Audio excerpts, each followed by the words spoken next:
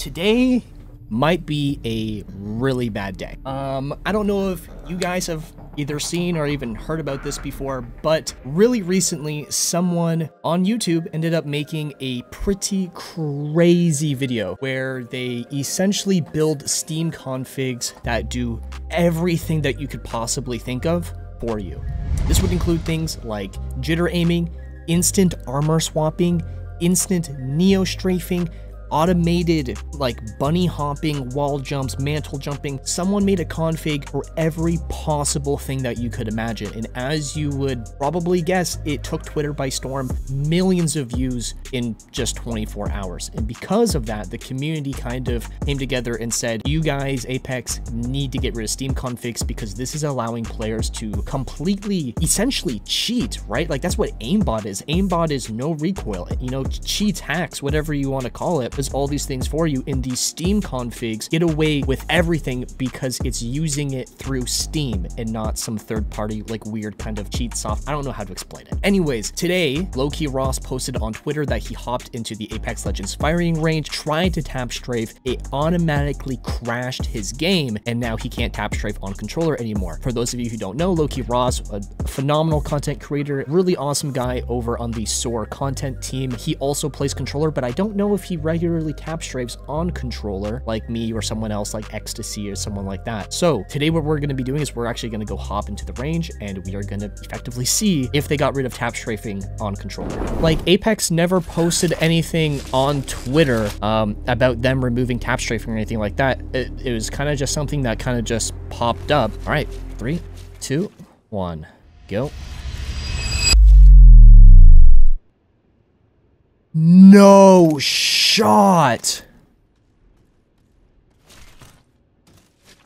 It's disabled.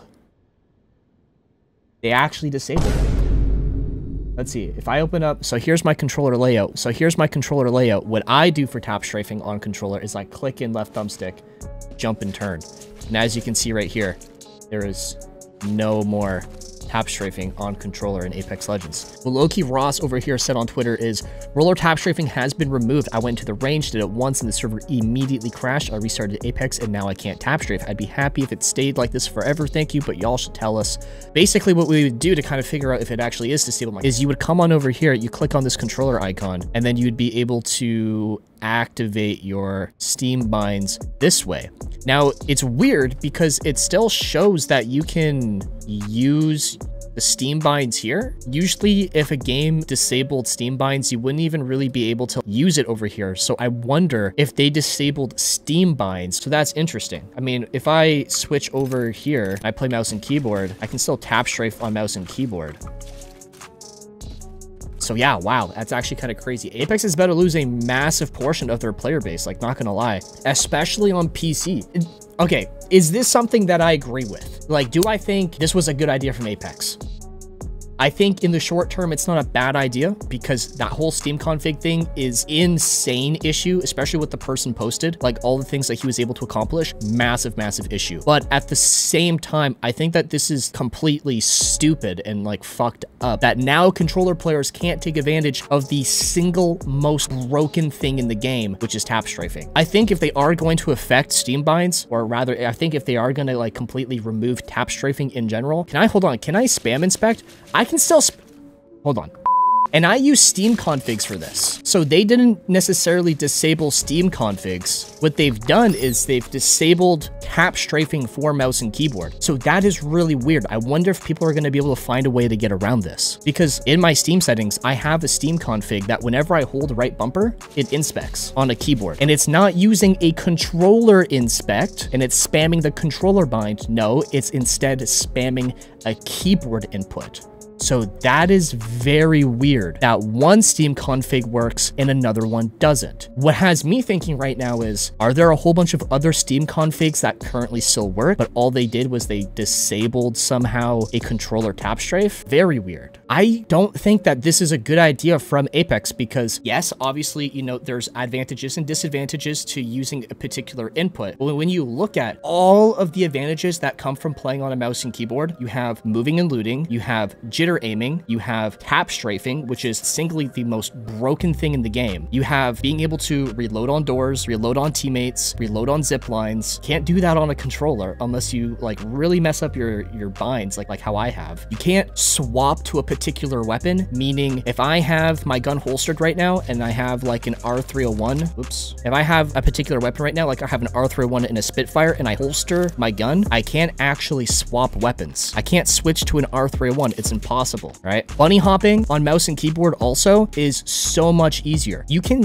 you can bind stuff to your scroll wheel, which is how tap strafing works. So instead of having to perfectly time a wall jump like you would have to on, on my bad on a controller where you slide jump at a wall, as soon as you touch it, you hit jump and you bounce off of it. On mouse and keyboard, you can scroll wheel. So now you don't have to perfectly hit the wall jump, just scroll as you're coming to the wall and it's gonna pop you off instantaneously. So bunny hopping, bunny hop healing, tap strafing, moving and looting, jitter aiming, um, circle strafing, also insanely broken. Circle strafing is insane. Significantly more accuracy at range, medium to far, significantly better input delays. That like the list for advantages that comes from mouse and keyboard goes higher and higher and higher. It, it, it is non, it, it has no ceiling, mouse and keyboard. Now, the only disadvantage to playing mouse and keyboard, up close aiming, probably not the best. What is the only advantage for controller? Aim smoothing is maybe a little bit easier, but um, oh, my bad. Yeah, aim smoothing is a little bit easier, and you have aim assist up close. Okay, if aim assist is the only thing that's broken about controller, then slightly fix that, right? But again, like even with aim assist, like it, it is super hard in general just to aim on a controller. And on top of that, you don't even get aim assist in a whole bunch of situations. Like if you're playing in a smoke, you don't get aim assist.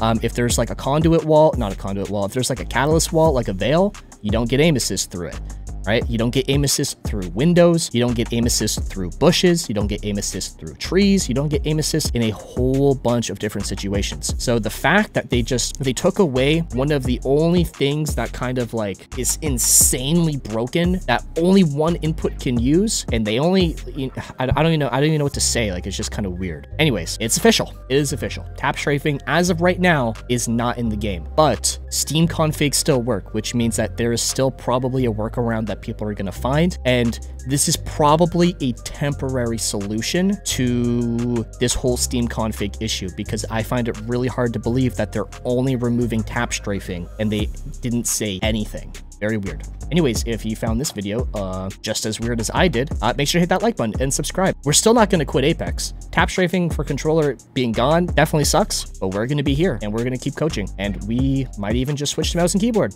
Anyways, that's all for today. Hope you guys enjoyed that video and I will see you in the next one. Remember, don't quit because it's only going to get easier from here. Unless you play on controller on PC because now everyone's going to tap strafe in your face and you can't do fucking shit about it. Fuck you.